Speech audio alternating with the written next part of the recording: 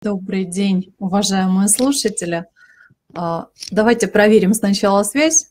Слышно, видно? Поставьте, пожалуйста, немножко плюсики, если слышно, видно. Угу, отлично, все, все поняла, слышно, видно. Спасибо огромное. Я рада всех приветствовать на нашем вебинаре. Сегодня у нас тема интересная, всегда она пользуется таким повышенным интересом и спросом.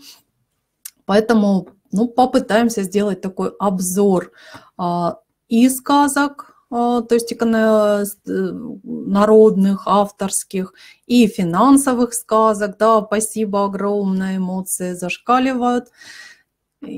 Ну, давайте начнем наш вебинар, раз у нас со связью все хорошо. И я хочу вам пожелать в самом начале вебинара, да, то есть, как мы обычно, это здоровье и, конечно, финансового здоровья, финансового благополучия всем, потому что от финансового благополучия зависит наш настрой, наше настроение. Кто со мной еще не знаком, да, то есть э, у нас уже была серия вебинара, и сегодня, ну, практически год, как у нас на площадке Директ Академия я веду вебинары именно по финансовой грамотности для преподавателей. А, у нас есть сообщество, и нашему сообществу сегодня тоже год.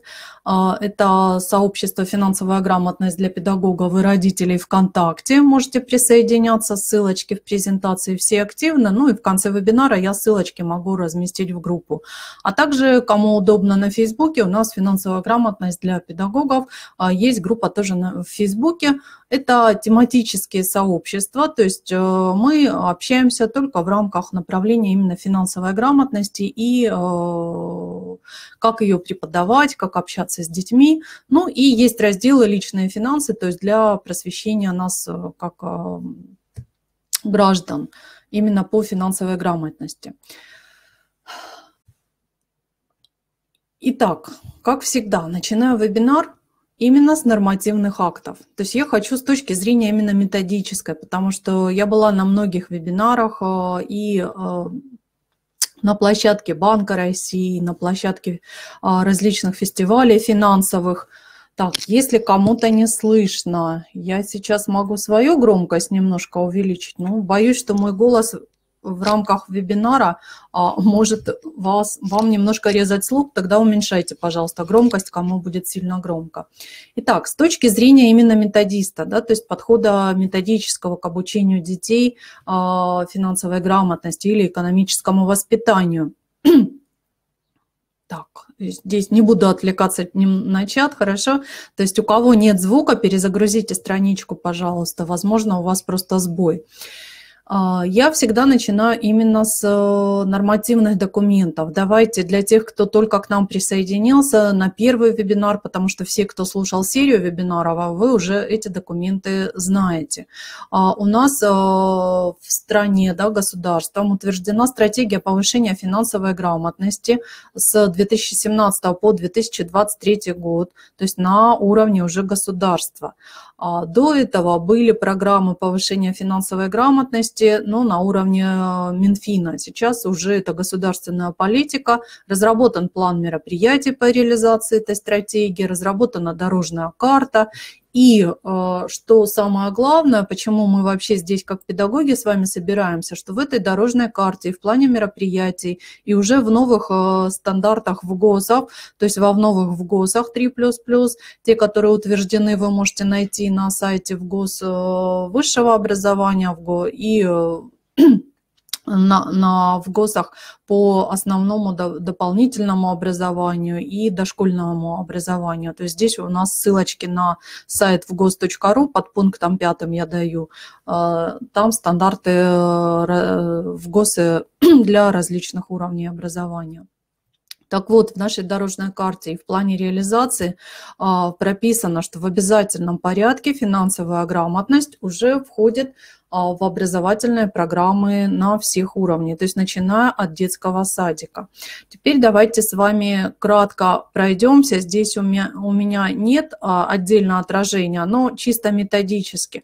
У нас а, на уровне государства кто занимается повышением финансовой грамотности и методическим сопровождением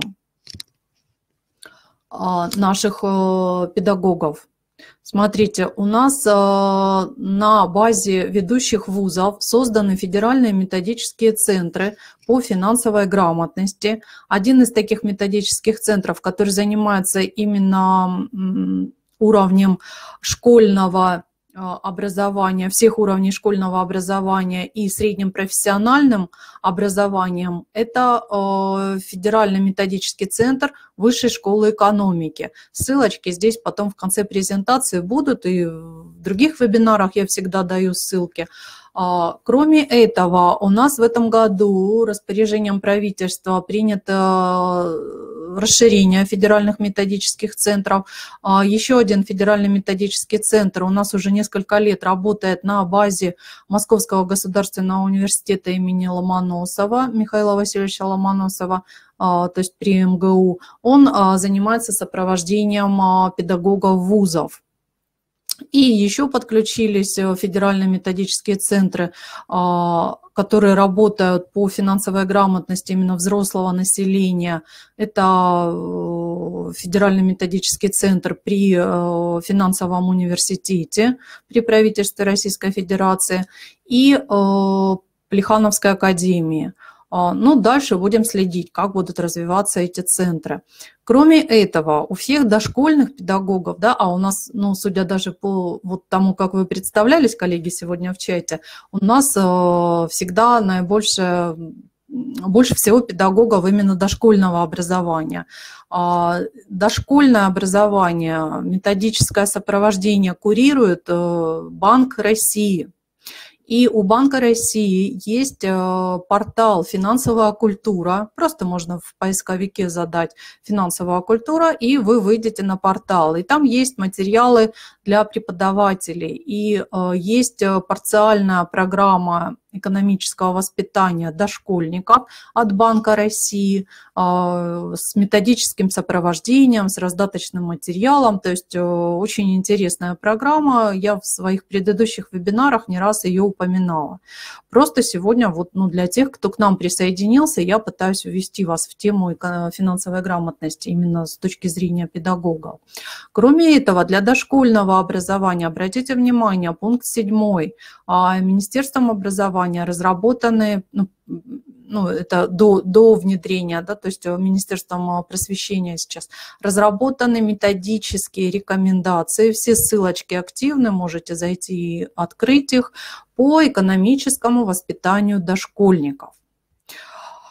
Кроме всего прочего, в каждом регионе есть институты развития образования, да, то есть где э, ежегодно обновляются методические рекомендации для педагогов, и вы можете обращаться в эти институты, если у вас возникают какие-то сложности. Я думаю, что должна быть взаимосвязь между этими институтами и э, Министерством образования. Ну, по крайней мере, об этом говорил, э, говорили на последнем вебинаре Банка России вот с педагогами в Дальневосточном округе, что сейчас Банк России заключил со всеми регионами через Министерство образования именно а, договоренности о повышении педагогов финансовой грамотности. И еще а, Банк России э, ну, как бы создал такой список опорных детсад... детских садов. Этот список тоже раз... Э, размещен на портале «Финансовая культура».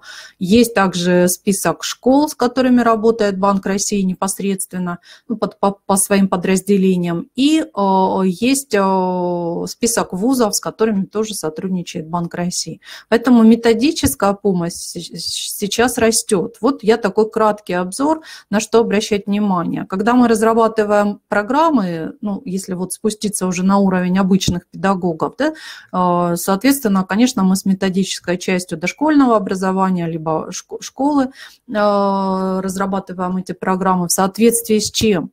А, есть э, основные образовательные программы, но сейчас идет так, э, последние сведения появились, что хотят отменить их, но тем не менее пока они действуют и есть примерные образовательные программы. А, каждое образовательное учреждение разрабатывает свою образовательную программу, в которую включается что? Это рабочие программы педагогов на основании чего? На основании учебного плана. Ну и, соответственно, направленности политики. И в каждую программу еще включаются, кроме федерального, региональные компоненты. Да? То есть э, даже при разработке именно программ финансовой грамотности учитываются региональные компоненты, то есть особенности региона, история региона, ну и так далее. Но об этом мы поговорим еще на одном из вебинаров отдельно по именно разработке программ, хотя у нас уже такие вебинары были. Так, вы меня еще не, не потеряли в чат чат что-то у нас немножко заснул. Итак, переходим непосредственно уже к нашей теме. Да, то есть а, еще раз напомню вам, что финансовая грамотность – это не экономика в чистом виде, а именно умение отдельного человека, гражданина управлять своими личными финансами. Для чего? Для того, чтобы… А, да, добрый вечер у кого-то уже на страна огромная, у кого-то день, вечер. А, управлять именно своим благосостоянием. Ну и наша тема.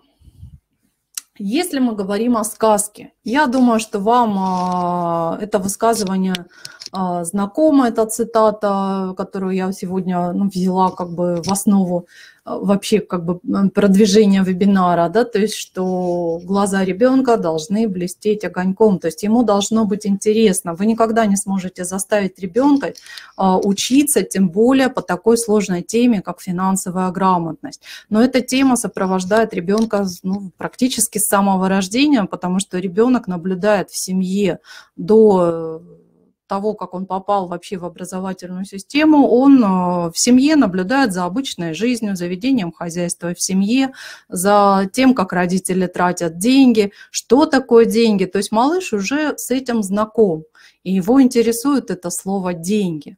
И когда э, малыш начинает расти, да, то есть с чем с первым он знакомится? Ну, конечно, со сказками. Что такое сказка?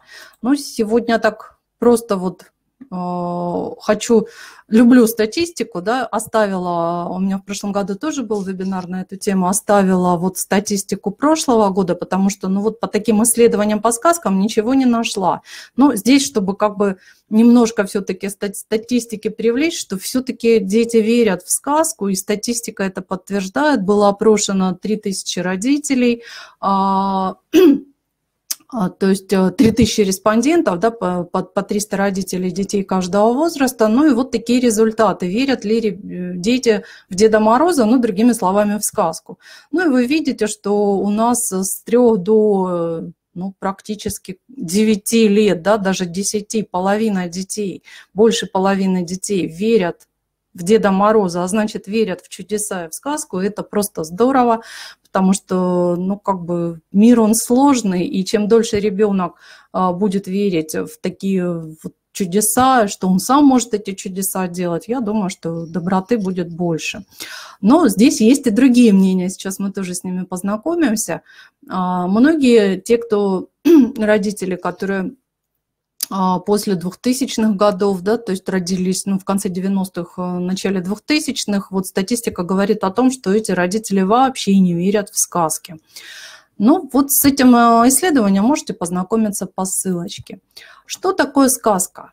Я думаю, что вы все прекрасно понимаете, что это такое, да, то есть обычно это мы начинаем знакомить детей чаще всего с народными сказками, то есть а, основная структура любой сказки это э, какое-то событие. В этом событии участвует кто? Есть герои в сказке, да, есть герои обычно добрые и ну, антагонисты, то есть те, которые противопоставляются э, доброте, с кем борется э, этот герой. Ну, это могут быть какие-то фантастические или волшебные силы. И обязательно у нас в сказке проживается опыт – и причем сказки у нас используются что не только для детей, конечно, но и для взрослых. А если мы говорим о педагогике, а, то исследования, ну вот нет единого этого мнения, а, что такое сказка, до сих пор ведутся исследования, но тем не менее сказок много, и сказок кроме народного творчества, то есть передачи такого глубинного опыта народного, то есть у каждого народа есть свои, свой, свой такой багаж сказок, И вы их прекрасно знаете, да, что даже на территории России у нас э, многонациональная страна, у каждой народности есть да, я согласна, что верить или не верить, сейчас мы об этом еще поговорим, а, но при помощи сказки проще ребенку объяснить и прожить вот этот опыт и страхи. Мы сейчас дальше немножко затронем эту тему. Так вот, я говорю об, о, об опыте э, таком народном, да, то есть это а, передача из поколения в поколение устных пересказов. И собирать сказки, ну, обычно начали где-то записывать их с конца прошлого, позапрошлого века, и сейчас до сих пор есть э, ну, исследователи, но больше, по большей части это лингвисты или философы, это ученые, да, то есть, есть когда готовлюсь к этой теме, всегда я поднимаю а, исследования ученых, есть диссертации на тему педагогического а, образования и э, сказки как э, одного из направлений образовательной технологии.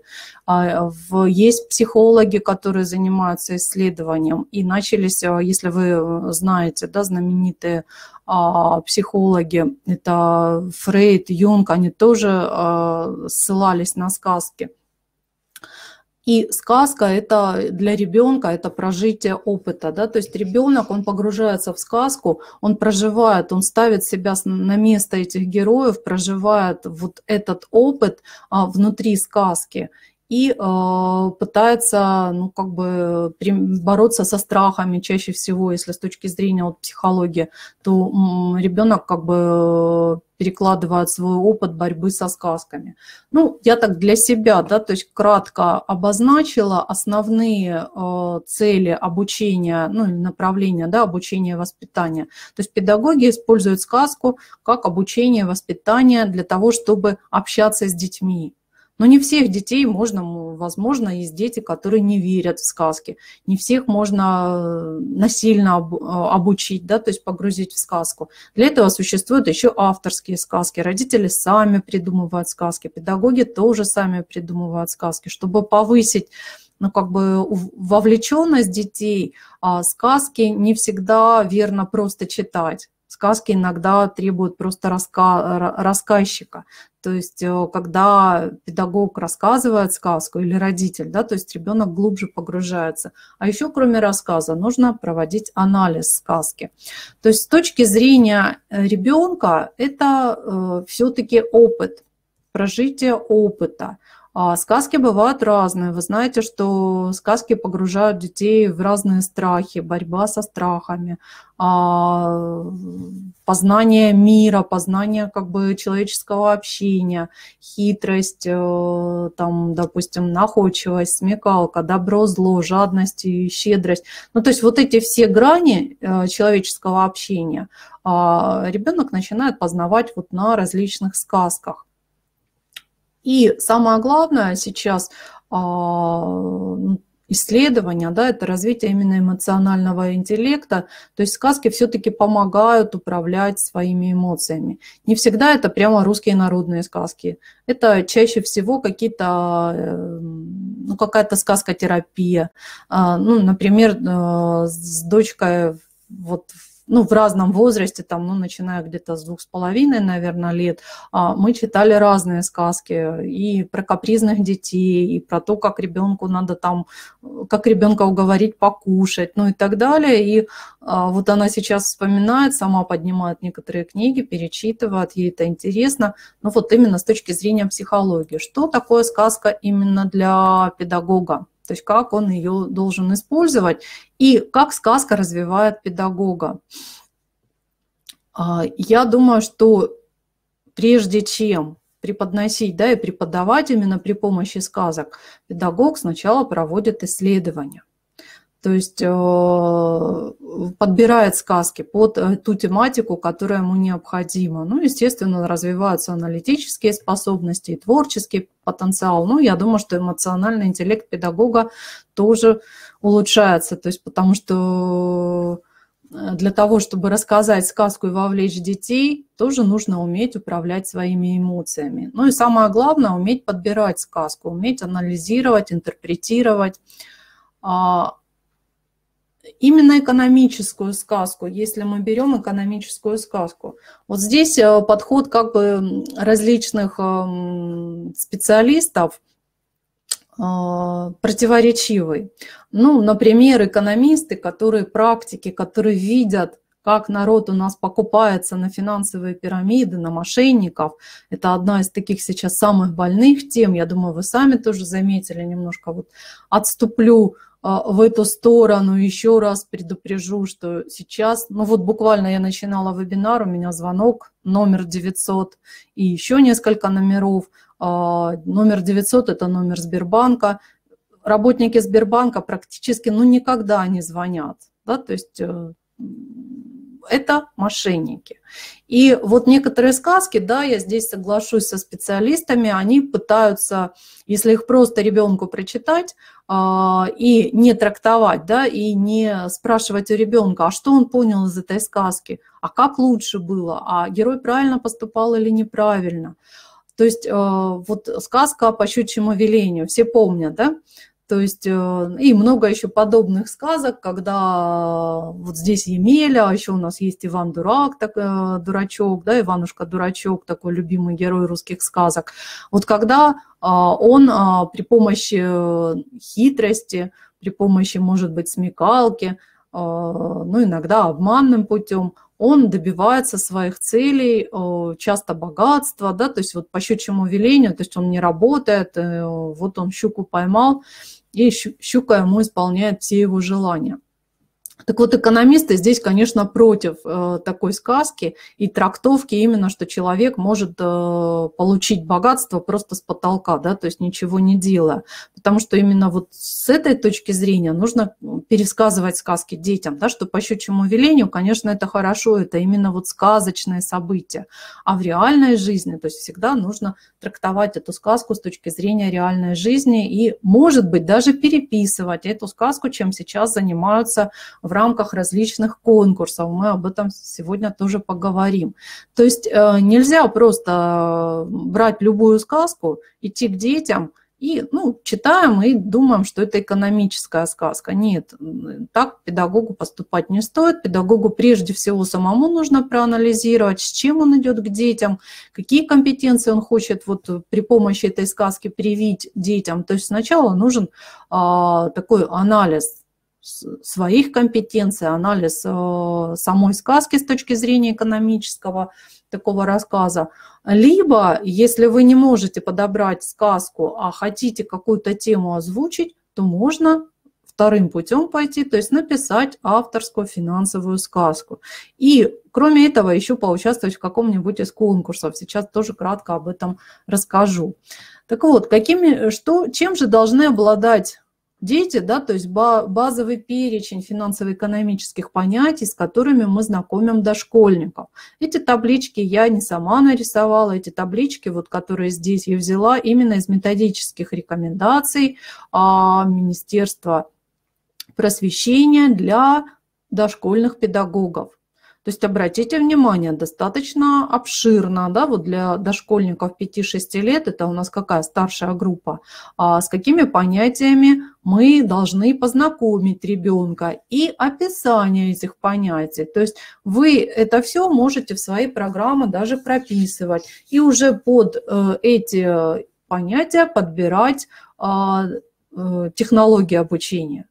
Одной из технологий это может быть сказка, а может быть вы будете ставить спектакли, сказочные какие-то спектакли, сценарии и так далее.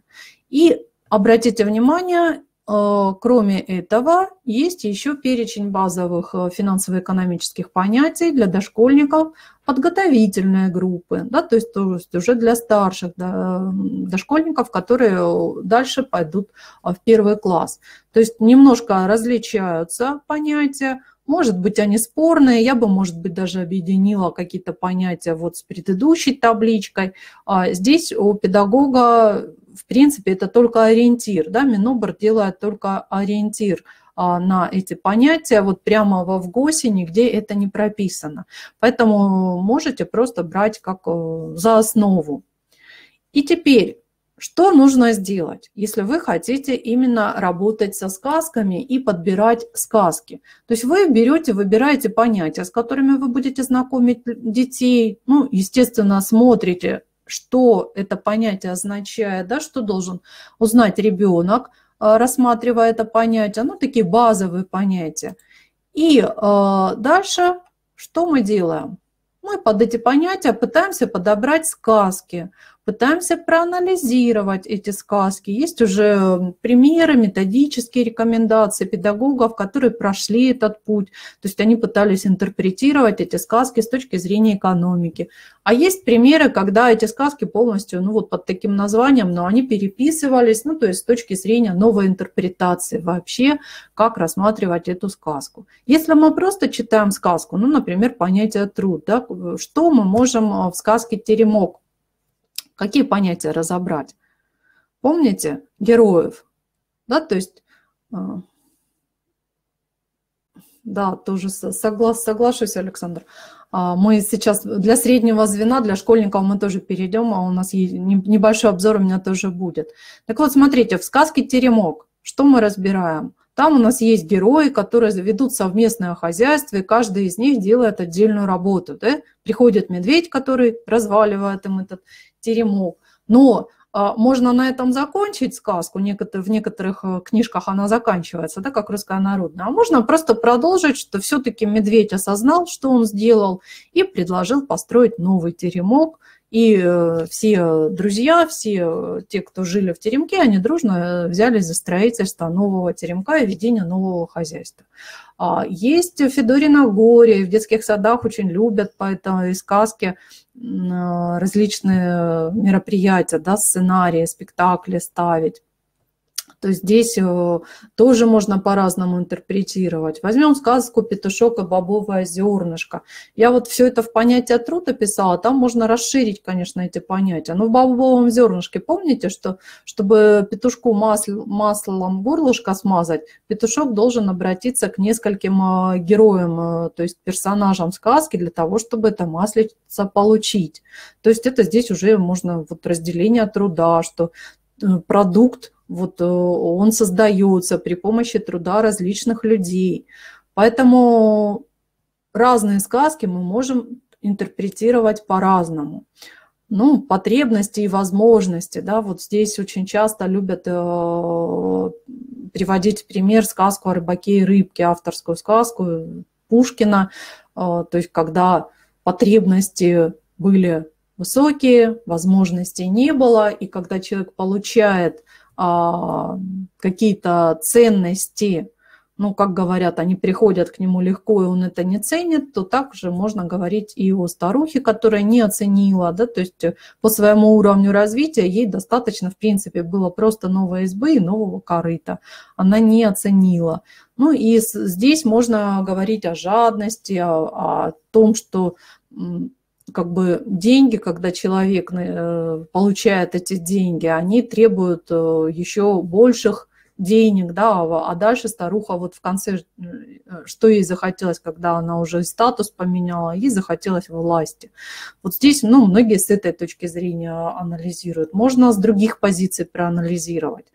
А, ну, для денег, да, вот я попыталась привести сказки, с чем мы знакомимся, с мухой-цокотухой, да, вот если денежку, очень много детских книг с рисунками, с этим рублем, который муха нашла, и пошла она куда? То есть за деньги покупать себе самовар. Ну, здесь можно тоже с разных позиций трактовать. А, помните, еще мультик есть по сказке индийской «Золотая антилопа», где жадный Раджа просил очень много денег, а антилопа своими копытами там, в принципе, завалила его, и он в этой куче ну, погиб, да, то есть от своей жадности. Вот каждую сказку можно с разной позиции трактовать. И поэтому педагогу нужно э, уметь анализировать сказку и анализировать с точки зрения вот именно в данном случае, если мы говорим об экономической составляющей, то с точки зрения экономической составляющей. Ну, какие вы сказки вот можете еще, кроме тех, что у меня здесь указано, именно о деньгах? Кто-нибудь может вот так на вскидку предложить сказку? Связанную с деньгами, богатством, из русских народных или из авторских сказок. Можете в чате писать, если есть такие сказки. То есть э, сказок очень много, и много сказок народов. И, да, Буратино, да, вот здесь у меня указано, согласна. И вот в Буратино можно и, и о том, как трудиться, да, что нужно для того, чтобы там получить профессию, нужно учиться, э, трудиться. И видите, как у Буратино не получилось, да, то есть здесь можно еще, да, «Три толстяка» тоже не указал, отличная сказка. А, вот даже про пяточек, про пятачка, барсучка и кошечку, честно говоря, даже и, и не знаю. Сказки северных, на горшочек вари, отличная сказка, да, молодцы. Как старик корову продавал, вот посмотрите, куда я ее поместила. Я здесь как мужик корову продавал, да, почему написала. А, это сказка Михалкова, но я больше ее поместила в рекламу, хотя здесь может быть в обмен, да, в продажу. А, то есть э, мужик так расхвалил свою корову, что понял, в принципе, что она ему и самому нужна. Ну, то есть вот именно действие рекламы. Да, в гости лебедя. То есть практически любую сказку можно а, с точки зрения экономического смысла разложить по полочкам и э, рассказать, познакомить детей с каким-то направлением, да, именно с базовым понятием.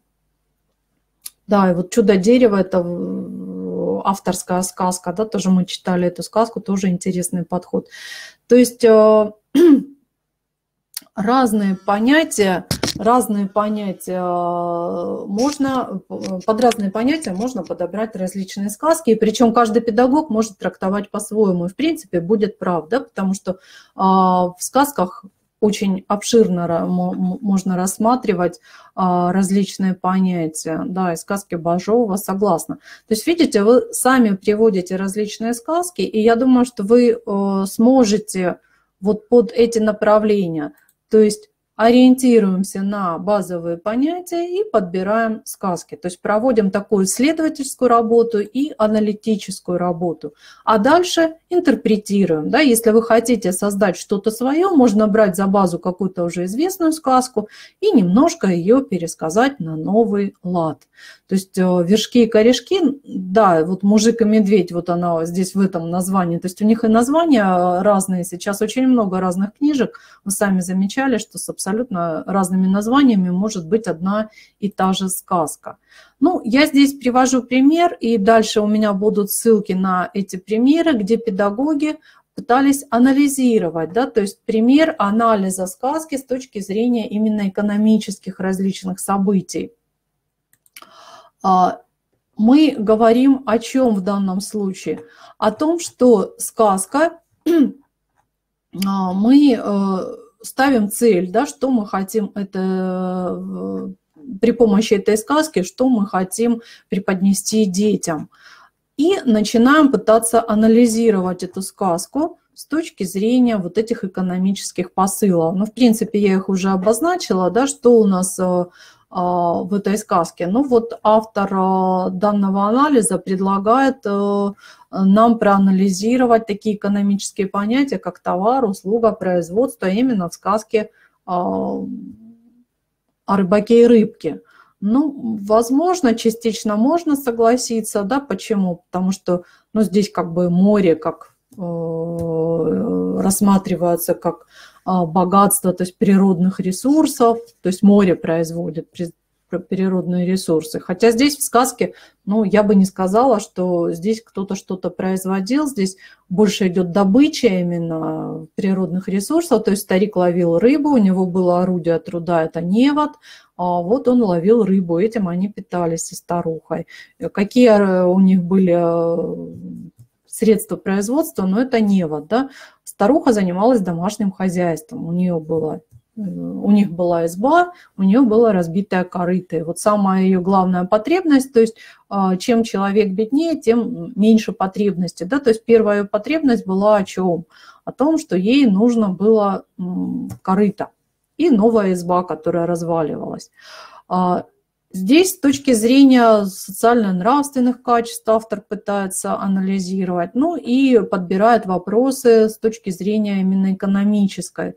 Профессии. Еще раз повторюсь, это пример, да, я не назову его идеальным прям примером, но здесь э, как, как, как пример, потому что в детском саду, вот в принципе, сказку о рыбаке и рыбке я бы все-таки больше не, не в детском саду, а именно в школе ее рассматривала, ее даже в старших классах предлагают интерпретировать, ну, уже с таких более серьезных позиций экономических – потому что в детском саду вот понятие банк, кредит, ипотека, налог, ну, будет достаточно сложным, да, то есть э, все-таки детям интерпретация более простых занятий.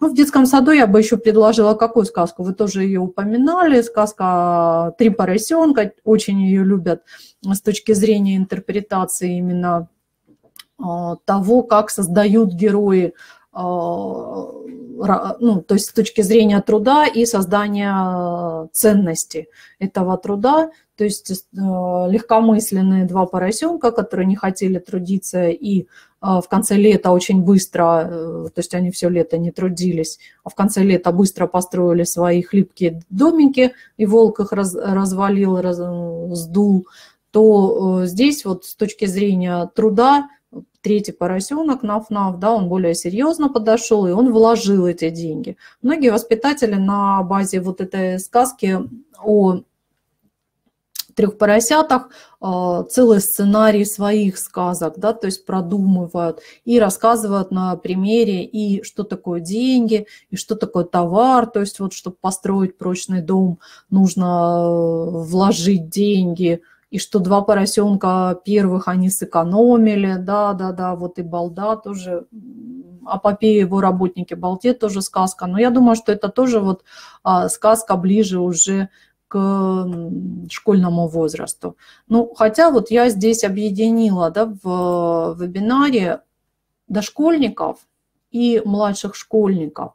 Ну, то есть, если мы совсем уберем малышей, то есть там курочка ряба, репка, Э, что у нас еще из сказок есть? Колобок. Можно сказку «Колобок» там отнести и к ресурсам, да, которые вот истрактовать.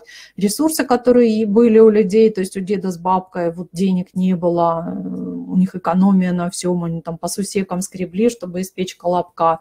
С другой точки зрения социализация, то есть Колобок не хотел сидеть дома, он вышел не только за порог, но и в лес ушел, и реклама, это Колобок себя рекламировал и хвастался, да, что он такой красивый, от всех ушел. И обмен там можно посмотреть, да, то есть он что обменивал? Свою жизнь на э, песенку, то есть не ешь меня, я песенку спою. Ну, то есть вот с разных позиций можно любую сказку э, истрактовать с разных позиций.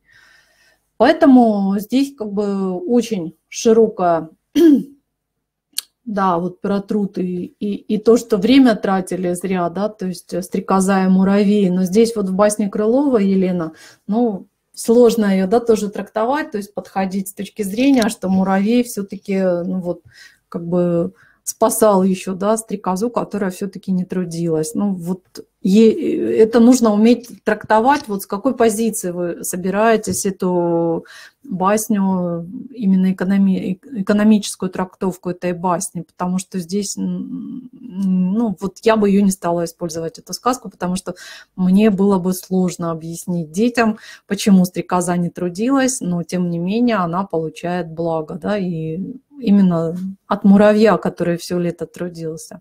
А, здесь я небольшую подборку книг предлагаю. А, это книги все, которые Э, за деньги, да, то есть это те, которые на книжных полках магазинов.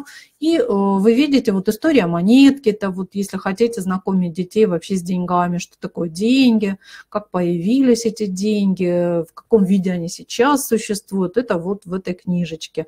Если чисто про сказки и э, вот сказочные истории сказочных героев и как с ними прожить вот то можно сказ про то, как Иван царство спас, откуда берутся деньги, тоже интересная книга. Чуть э, старше, вот старший дошкольный возраст и младший школьный возраст, это а, можно книги э, Буда Шефера почитать, либо Татьяны Поповой, вот «Волшебный банкомат». И я дальше вам еще привожу здесь уже в электронных ресурсах. Посмотрите, пожалуйста, вот э, тот анализ сказок, там их много, это педагоги детского сада «Улыбка» провели, это в PDF-файле у них доступно. Дальше просто мне понравился портал «Сказки и рассказы для разных возрастов» там не с точки зрения экономического, а вообще смысл сказки буквально одним предложением, о чем эта сказка, и очень удобно для подбора, да, то есть подходит вам или нет. Картотека финансовых сказок, вот для детей 5-7 лет тоже с э, анализом, да, именно с точки зрения экономической. Возможно, вы просто будете пользоваться этими материалами, но трактовать со своей точки зрения. Сказки и рисунки о финансах, э, вот один из примеров, как сейчас Минфин, э, региональное министерство финансов, у каждого из них практически есть портал о финансовой грамотности, и они очень активно участвуют в различных мероприятиях и просвещ... финансовом просвещении, то э, вот, например, э, портал Мурманской области, Минфина Мурманск... Мурманской области, они повесили в таком новом формате, да, я думаю, вы все знакомы уже подкасты, аудиоподкасты и даже социальная сеть.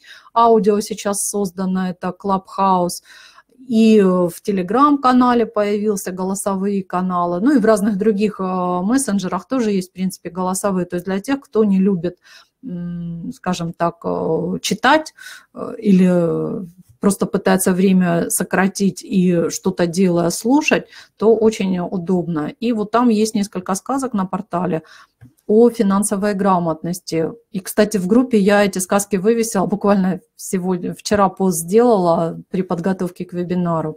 Кроме этого, а, ну, например, вот в нашем регионе Минфин очень активно много лет уже тоже занимается финансовым просвещением, и очень понравились конкурсы, мы с дочкой ну, года три, наверное, назад, когда этот конкурс объявляли, мы участвовали в нем. Это конкурс финансовой сказки и даже дочка была победительницей, а, там в рамках детей от 5 до 8 лет, вот кто сказки. Потом по этим сказкам а, был конкурс еще рисунков, а в этом году они пошли дальше, и по этим же сказкам, ну и, возможно, другим, я не знаю, не участвовали в конкурсе, просто смотрела а, на сайте Минфина информацию, а, они провели конкурс, где детские сады, школы участвовали именно в театральных постановках этих сказок. И дети, ну вот, э, выбирали победителей, да, кто смог э, именно театрально донести, то есть э, а, смысл сказки. И в конкурсе, в жюри даже присутствовали именно члены артисты, да, то есть артисты театра, театра краевого. И еще у нас есть театр кукол, а, он очень активно тоже включился в финансовую грамотность. А, если вы зайдете на портал Финграмота26, то найдете там видео, пример а, о том, как театр включился. Он а, перед своими представлениями раз в месяц проводит такой показ финансовых сказок.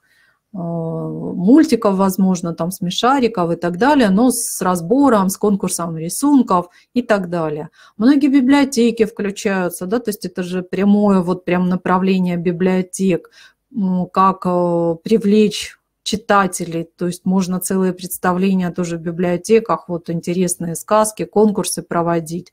Э, очень обширное здесь, обширное направление. А, экономический анализ сказок вот э, есть на портале Инфоурок, можете тоже, это прям доступный материал. И из э, пособий учебных, ну, я бы порекомендовала именно для педагогов, да, то есть э, это сказки как средство экономического воспитания Моисеевой, но не знаю, Ай, да, соглашусь, Елен, не буду комментировать, можно про, про стрекозу и муравья, Поэтому я и говорю, что здесь вот как бы я бы не стала брать именно эту сказку с точки зрения экономического. Либо нужно очень такую интерпретацию для детей, а, более понятную, да, потому что у детей всегда вопрос, почему, почему муравей помогает стрекозе. В чем там суть этой басни? А, и вот а, интересное пособие «Финансовая грамотность. Сценарий обучающих сказок в соответствии с ГосДО». Это Стахович и Семенкова. А, ну, на портале «Лабиринт» можно приобрести эти книги. То есть для педагогов, еще раз повторюсь, самое главное не просто подобрать сказки, да, а проанализировать и попытаться а, сопоставить их с теми понятиями, которые они хотят донести до детей. И можно, конечно, интерпретировать. Вот здесь мы как раз говорим о э, сторителлинге, так, сейчас модное такое слово и направление, которое внедряют везде, да, и в рекламе, и в бизнесе и, э, естественно, в обучении.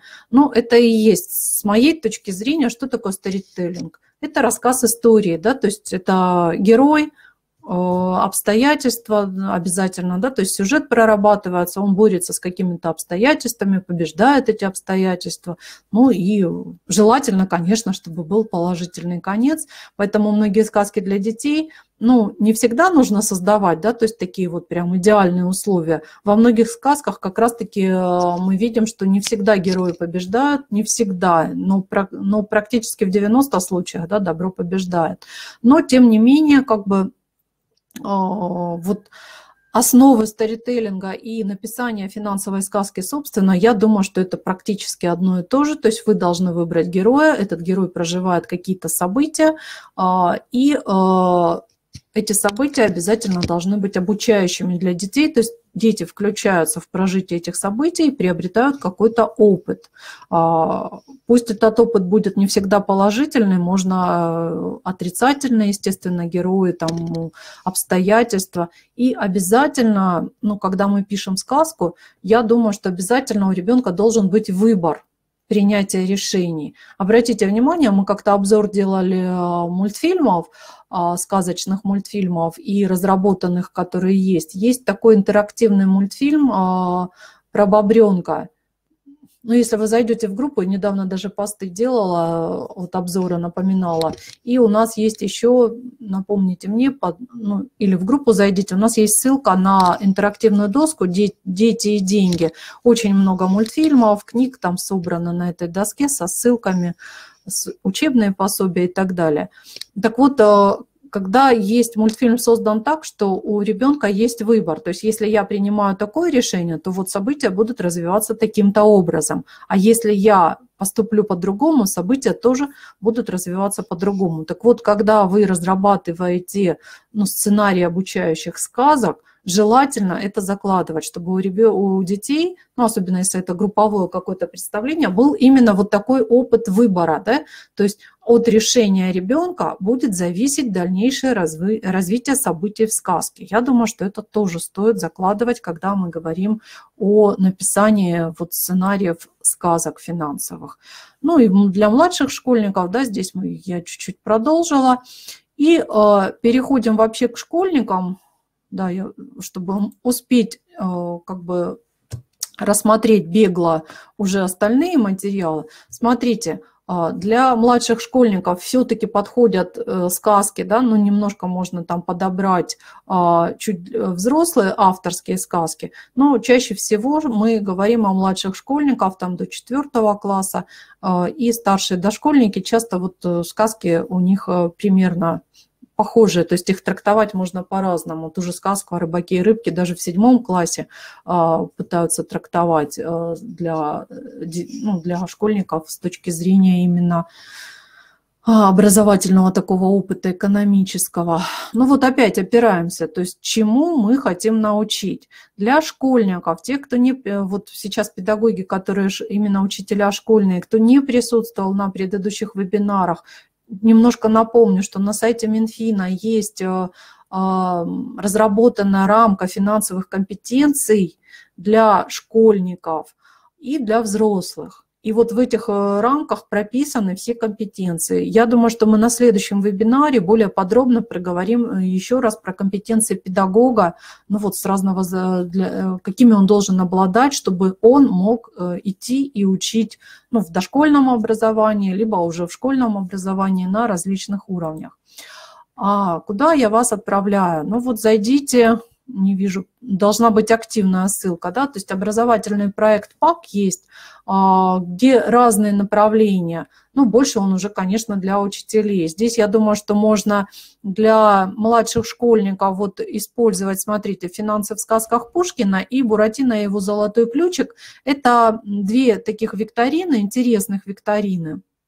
А, пройдите их сами, вот зайдите а, по ссылочке, она просто не горит синим, но она активная, в принципе. Сейчас там дальше будет еще тоже входы на этот проект. Очень интересные викторины, там буквально по 5-7 вопросов, пройдите сами, можете свои разработать викторины. Сейчас много онлайн-ресурсов, ссылочка вот в самом верху здесь, и ссылочка, вот она еще здесь, активная будет вот на Буратино, да, на викторину Буратино. Там ссылка одна, вы заходите на вот этот ресурс образовательный, можете даже через поисковик а, найти. Так, сейчас, если у меня здесь она, вот она есть, я сейчас в чат вам сброшу ссылочку, да, есть. Сейчас я сбрасываю, ловите в чате. А, а, вот там есть викторины, да, я думаю, что активно. А, вы проходите, не буду сейчас демонстрацию экрана включать, а, если на... Это в целом я вам сбросила, сейчас пытаюсь зайти на Буратино, провисает немножко. Но я думаю, что это будет та же ссылочка. Сейчас я вам а, брошу еще раз в чат. Я думаю, что это одна и та же будет ссылка. Да, они прям одинаково. Вы просто заходите на ссылочку, там внизу 4 э, викторины, вы выбираете свою, можете пройти, посмотреть. А, очень интересные викторины а с точки зрения именно финансов. Для взрослых очень много различных викторин э, для старшеклассников, но обратите внимание вот на этот образовательный проект ПАК, именно отдельное направление, здесь там много направлений и в информатике финансы, и в математике, а здесь именно в литературе, то есть отдельный проект. И есть конкурс, в этом проекте, да, это вот еще одно направление проекта «Кинопакт», но там тоже именно фильм. Посмотрите, сколько серий фильма. А, именно сказка о деньгах. Здесь э, задействованы, опять-таки, а, герои, да, то есть герои на примере школьников, и, естественно, ученики будут ассоциировать себя с этими школьниками. И есть сказочный герой, который э, помогает преодолевать, то есть богатырь Иван, который помогает э, изучать, преодолевать разные трудности и изучают вот эти темы. Посмотрите, я думаю, вам как педагогам это будет интересно, вот этот сам образовательный проект, и, может быть, на его базе придумаете что-то другое. Кроме этого, Банк России с различными своими филиалами тоже разные сказки снимает. Опять-таки приглашаю вас в группы, и вы найдете там очень много постов. Сейчас я вам прям сброшу а, вот здесь ВКонтакте группа именно не, не обещаю, что в Фейсбуке там все продублировано, но вот для воспитателей учителей а, лучше даже группу ВКонтакте, потому что там больше у меня образовательных материалов. И для родителей. Ну, можете заходить, э, ну, как подписываться да, на наше сообщество, потому что мы его развиваем, там уже больше полутора тысяч э, педагогов, родителей, воспитателей, учителей, ну, то есть очень-очень большое количество людей уже, и мы постоянно развиваем наше сообщество. Можете заходить, подписываться. И все презентации по всем вебинарам вы там тоже найдете. И доску образовательную там прямо в меню. Поэтому приглашаю. Итак, образовательный проект, э, вот э, ПАК, очень интересно. И на нем же, вот здесь на кинопаке вы найдете для воспитателей смешариков, да, все серии смешариков с методическими рекомендациями. Ну вот, если уж мы говорим о сказках, да, это киносказки, мультфильмы, то с методическими рекомендациями для педагогов и родителей. То есть не просто фильм, а именно э, для педагогов и родителей фильм. Так, Идем дальше. Вот тот конкурс ученических, исследовательских и творческих работ, о котором я говорила, а, но он а, проходил в декабре и, кажется, январе э, и феврале. Но сейчас по этому конкурсу проводится конференция. Если вы зайдете на сайт вот, э, и посмотрите конкурс, то вы там найдете ссылку на конференцию. Сейчас попробую отдельно вот у них отдельная эта ссылка, на, чтобы зарегистрироваться, там два, в субботу, вот в это буквально завтра, начнется конференция по подведениям итога этого конкурса литературного. Я думаю, будет многим интересно. И также вот на этой страничке найдете очень много уже проведенных записей вебинаров, а, обзоров конкурсных работ школьников. А, идем дальше, хочу уложиться во времени, у нас немножечко осталось. Еще один очень интересный проект э, Пироговской школы – это методический конструктор для школ «Финансовый год». Именно по, в рамках литературы, да, интересно будет, конечно, для учителей литературы, ну, я думаю, что каждый учитель здесь найдет и для внеурочной деятельности там что-то свое, провести какой-то там классный час – или какое-то интересное мероприятие, выбрав какую-то сказку, которую, возможно, ну, не проходят в школьной программе. И здесь будет все э, проведен анализ этой сказки с точки зрения э, экономического. Обратите вообще внимание, вот я взяла специально пятый класс, видите, а, сказка опять-таки какая? То, та, о которой мы говорили, сказка о рыбаке и рыбке. И как интересно здесь автор интерпретировал, даже начертил график кривой роста благосостояния старухи и э, сделал взаимозависимость. Да, посмотрите, что от уровня благосостояния росло число желаний старухи. И вот на пересечении, да, где потеря, вот разбитая опять корыта, э, видите, даже построили график, э, вот, что желания наши – вот такие беспредельные и попытка а, получить желаемое а, без вложений, без труда, оно приведет к разбитому корыту. О чем это говорит? Если уже брать вот пятый, шестой класс, ну то есть а, детей средней школы, то мы должны им объяснять, что деньги, уже они четко должны понимать, что деньги просто так – ну, это очень редкий случай выигрышей. И если человек не финансово грамотен, то с этим выигрышем он не сможет им распорядиться, он его точно так же быстро и потеряет. А деньги э, любят счет, деньги любят управление, э, деньги любят э, грамотное управление, да, то есть человек должен все время повышать свою финансовую грамотность для того, чтобы уметь управлять, не просто создавать благосостояние, а управлять своими финансами. Ну и небольшая подборка книг для учеников пятых-восьмых классов. А, причем учебно-методические комплекты вы э, можете получить и бесплатно на сайте Федерального методического центра Высшей школы экономики. Вот она, финансовая грамотность, 8 и 9 классы. Сейчас указочку возьму. Да? Вот я показываю на вот эту книгу. Это можно бесплатно скачать. Ну, понятно, не в печатном виде, в электронном. Причем вот эта финансовая грамота, можете зайти в группу буквально недавно, на прошлой неделе, обзор делала этого этой книги тоже она бесплатна, а, и в группе у нас очень много бесплатно вывешенных. Те, которые есть в свободном доступе книг, они все в группе, ссылки на них есть. А Интересная книга, которая пережила много изданий, э, это «Новые удивительные приключения в стране экономики». Раньше это было просто «Приключения в стране экономики».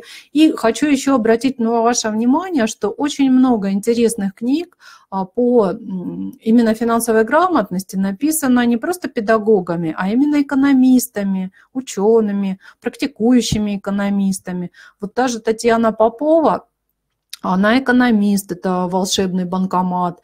А, Игорь Липсец, он экономист, он э, написал эту книгу первую, еще одну из самых первых книг по экономике для детей. Это конец 20 века, да, начало 90-х годов было первое издание этой книги. Сейчас вот появилась аудиокнига. То есть книг очень много. Тот же Боди Шефер, он э, коуч именно по финансам э, Пусть там не совсем как бы идеально, там более идеальная, да, такая картина мы с дочкой недавно прочитали, это я говорю о книге «Пес по имени Мани», а, но я думаю, что стоит почитать, потому что там а, для многих взрослых тоже будет полезно. А, у меня недавно пост в группе был, что деньги это все-таки не только про экономику. Деньги это часто про психологию, про установку. Почему все-таки хорошо использовать именно сказки. Да, я здесь не все книги учитывала, да, Елена, согласна, тоже интересная книга «Нравственная экономика». А, конечно, тоже можно использовать, особенно вот э, она построена именно на игровой форме. То есть все книги, обзор, сейчас их очень много. За последние там буквально 20 лет очень огромное количество и книг, и практически коммерческие банки очень много своих проектов а, по обучению детей финансовой грамоте. Посмотрите «Банк Home Кредит» совместно с Евгенией Блескавки, а, книга «Дети и деньги». Замечательное пособие вообще и для родителей, и можно для педагогов использовать. А, либо еще один из проектов Мани, то, тоже есть там двое детей участвуют. Сейчас сбилась с названием, но в, в группе тоже обзор делал этой книги. То есть огромное количество книг, ну вот скажем так, на любой вкус. На что еще обращать внимание? Еще раз говорю, а на федеральном уровне обращайте внимание на порталы, которые разработаны Банком России. Это финансовая культура портал, очень много для педагогов информации. А, и а, портал «Ваши финансы», а, ну, сейчас он чуть-чуть переделали этот портал, но там тоже много информации, в принципе, для педагогов осталось, но часть, видимо, пере, будут передавать федеральным центрам. Но на портале «Ваши финансы» есть библиотека, создали теперь отдельно библиотека, сейчас я перейду к, к обзору.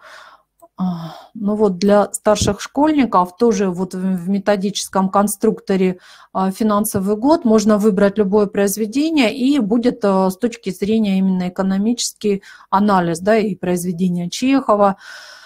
Классика, я думаю, вы многие читали Ильфа и Петрова.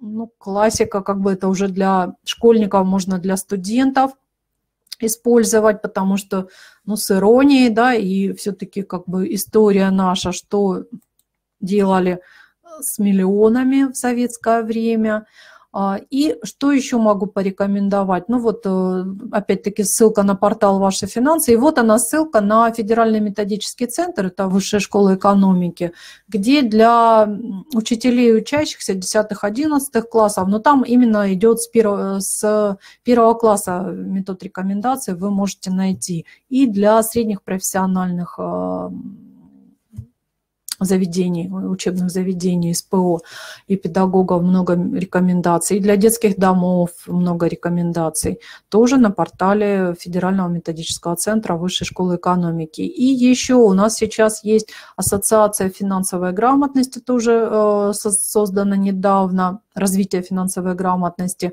Э, тоже достаточно много сейчас для ну, как бы обучения финансовой грамотности именно взрослого населения.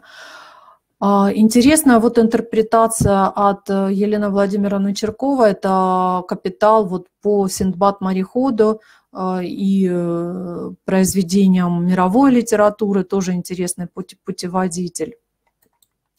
Так, а, здесь э, ну, кратко, да, бегло. Ну, вот рекомендую уже для старших школьников Теодора Драйзера почитать «Финансиста». А, там уже больше такое вот с точки зрения, конечно, художественной литературы, но тем не менее там основы вообще э, работы биржи и э, банков, и э, муниципальной власти, да, ну вот очень интересная как бы трактовка. А, интересная книга «Самый богатый человек в Вавилоне». Ну, вообще, как бы с точки зрения психологии, с точки зрения ну, вообще развития своих личных финансов, рекомендовала бы просто даже педагогам почитать, а не, а не школьников. Богатый, бедный папа есть для подростков, а есть просто для родителей отдельно, вот без вот этого упоминания для подростков. Тоже можно почитать для собственного развития. То есть еще раз заостряю внимание, если педагог сам не развивается и не умеет управлять своими финансами, ему будет сложно ну, подбирать вообще и сказки, анализировать их с экономической точки зрения. То есть еще раз обратите внимание, что практически все сказки, истории написаны экономистами. А, и Роберт Киосаки, один из богатых людей, э, ну, уже на уровне мира да, известный, и Боди Шефер, И э, наши Татьяна Попова, Евгения Блескавки и много других авторов, они все-таки экономические, э, экономисты, да, то есть с базовым экономическим образованием и многие с практическим опытом именно управления финансами. А, да, соглашусь, что Атлант расправил плечи, тоже можно рекомендовать.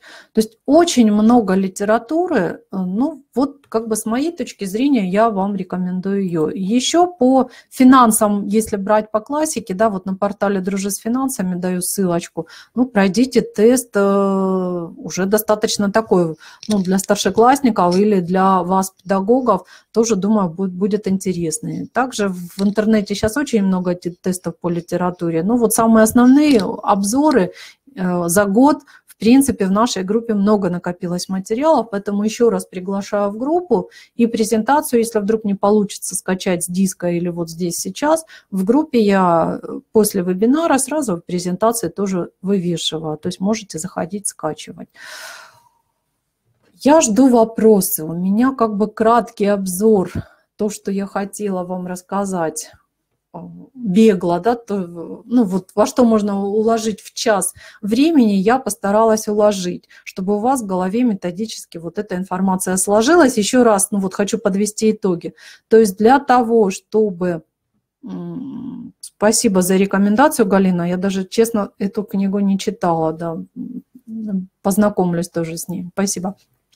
Так вот, кратко подведу итог. Смотрите, еще раз. То есть Педагог, с чего начинаем? С изучения нормативных актов, с изучения базовых понятий, которые вы хотите преподавать, да, и только потом начинаем подбор различных э, учебных материалов, технологий и так далее. То есть то, что вам подойдет. Может быть, сказка это не ваша, может быть, вы будете игры разрабатывать, ну и так далее. То есть, но прежде всего повышать свою финансовую грамотность. И я приглашаю сразу вас на следующий вебинар, который пройдет 11 мая. Мы будем как раз-таки разговаривать о том, как э, учить детей, как интересно учить детей, что такое нескучные финансы и какими базовыми компетенциями должен обладать педагог. У меня все, я жду ваши вопросы. Так, почему экономику в школе не преподают? Ну почему же? Ее сейчас прописали во всех а, федеральных стандартах. Есть в разных школах есть разные направления. Вот убегает у меня уже чат. А, разные направления, это Елена, да? А, направления именно экономические классы. Ну, я вам сразу скажу, я работала в школе, у меня есть практический опыт работы в школе, кроме вуза, да, в вузе я 22 года проработала. Я еще параллельно вела экономику в школе, а, ну, где-то год, год-полтора в девятом классе, в экономическом а, лицее это было. Это было еще, ну вот, не буду там свой возраст давать, но это было еще в 20 веке, да, то есть это были 90-е годы где-то 90, наверное, седьмой год, восьмой, а, то есть э, и тогда еще, да, и у нас он до сих пор этот лицей у нас в городе есть, и во многих других школах открылись, вот, ну, может быть, социально-экономические классы. Я думаю, что здесь экономику, но в рамках стандарта сейчас экономику можно включать и в обществознание, в окружающий мир, а в математику. Есть э, разработаны учебно-методические комплексы по математике для разных классов. Э, э, в литературе, да, вот мы говорим сейчас о финансах, в истории очень много можно тоже такие вот финансовую грамотность включать. Но тут уже идет именно не просто экономика, потому что экономика это для тех, кто выбирает это направление и будет экономистом. Там гораздо сложнее вот эти все базовые понятия. А мы говорим о финансовой грамотности, которую можно вот э, с точки зрения именно функциональной финансовой грамотности, то есть и преподавать, и изучать, то есть когда вы можете использовать эти знания сейчас сразу же на практике, то есть пойти открыть счет, ребенок может пользоваться банковскими картами, ребенок понимает, что он, допустим, там с 14 лет может открыть уже свой личный счет, а не просто дополнительный счет, э, который ему открывают родители. Ну, допустим, вот я дочке открыла а, банковскую карту, это идет как дополнительный счет. А, ну, родители должны ориентироваться, учителя должны в этих темах ориентироваться, да, чтобы могли подсказать. Ну и, соответственно, когда ребенок подрастает, он интересуется инвестициями, он интересуется, допустим, биржей, а, что такое инвестиционный счет, что такое индивидуальный инвестиционный счет, что такое предпринимательство. А, вот во многих школах есть э, именно предмет предпринимательства для детей как дополнительный. То есть здесь будет зависеть от общеобразовательной программы школы, ну и допол... организации дополнительного образования, то есть в как, в каких рамках они будут отдельными курсами, либо в каких-то основных курсах они просто будут включать в программы вот эти основы финансовой грамотности. Все будет зависеть от э, решения отдельной образовательной организации и ее образовательной программы. Есть еще вопросики? Вот пытаюсь. Так, вижу в чате, сейчас я открою. А, так, запись вебинара будет с сертификатами к Татьяне Викторовне. Будете вопросы задавать программами по финансовой грамотности. А, так, а, Валентина Березина вот вопрос задает. Валентина, ну вы можете зайти в группу и посмотреть, ну, несколько месяцев назад, в декабре у нас был вебинар, и там у меня презентация есть по обзору вот программ по финансовой грамотности и ссылки на учебно-методические рекомендации. Так, смешарики, сова, э, так, тетушки совы соответствие, что это для дошкольников сложновато. Соглашусь, смотрите, когда вы что-то показываете, вот по смешарикам зайдите на образовательный проект, э, вот этот пак, и найдите кинопак, там идет с методическими рекомендациями. А, и соглашусь, что смешарики многие серии сложноваты, и э, вот дошкольным педагогам все-таки лучше ну, переделывать, да, или, по крайней мере, комментировать, и даже школьным начальная школа, потому что вот у меня дочь говорит, что им в школе показывают вот эти мультики, но она не все понимает. ребенку 8 лет. Еще раз говорю, что педагог должен не просто что-то показывать, а он должен рассказывать, комментировать. Если это не успевают делать родители, э, то комментировать э, и интерпретировать, да, то есть эти знания. А для этого педагогу нужно самому повышать свою финансовую грамотность и понимать, о чем а, речь вот в этих мультиках идет. Это я, я ответила на вопрос, это вот я пыталась ответить на вопрос Натальи Саниной. То есть не все серии, я считаю, что и смешариков, и тетушки совы подходят именно для такого возраста.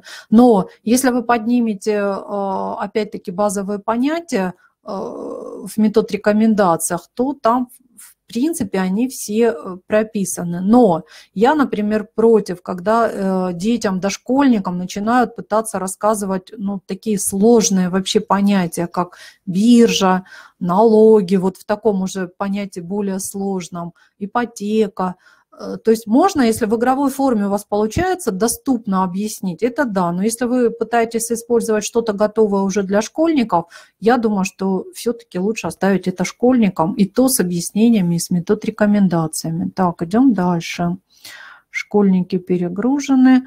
Но знаете как, я бы не, не, не заставляла школьников там э, изучать, а вот в рамках, ну, допустим, вот младшие школьники там какого-то классного часа, либо вообще какой-то тематический кружок. Это же э, есть в рамках, а, допустим, школы э, какие-то вот направления. То есть проводить отдельно. И именно грамотность, ну, не с точки зрения самой экономики и вот этих сложных понятий, а с точки зрения ребенка. Ну, объясняю на своей дочери. Вот у меня дочка сейчас э, подросла, да, ей э, интересно э, в буфете что-то купить как ребенок может обращаться с деньгами. То есть вот базовые такие понятия, просто что-то купить, посчитать, а, открыть карту, чтобы, ну, вот обезопасить, да, чтобы она не потеряла там деньги, допустим, либо через телефон оплату подключить, хотя если, ну, вот, э, честно, я у ребенка телефон без вот этой системы НФС, то есть без подключения оплаты, но она может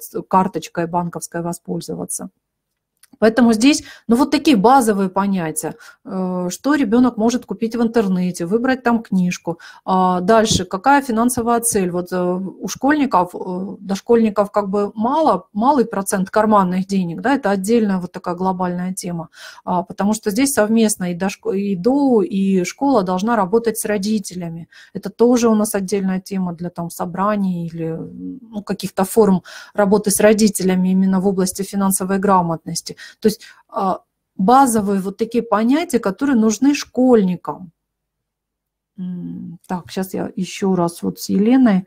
Все должны быть немного, чтобы их не... Да, я соглашусь, еще раз говорю, что есть финансовая грамотность не с точки зрения глобальной экономики, что вы экономисты, нет, а именно с точки зрения вашего финансового поведения ежедневного.